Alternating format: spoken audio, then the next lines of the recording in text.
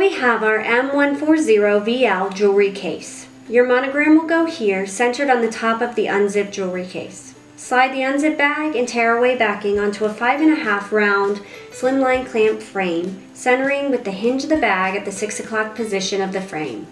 Rotate your monogram 180 degrees. Always trace the sewing area to ensure the monogram fits inside of the frame. Add one sheet of Solvy to the top.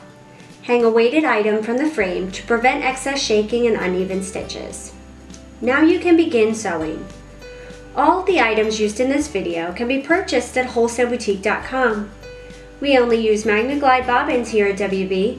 Their patented magnetic core create a consistent delivery throughout the entire bobbin. No more interruptions for tension adjustments as your bobbin gets smaller. Our medium weight tearaway backing adds stability, tears away easily, and leaves a clean finish.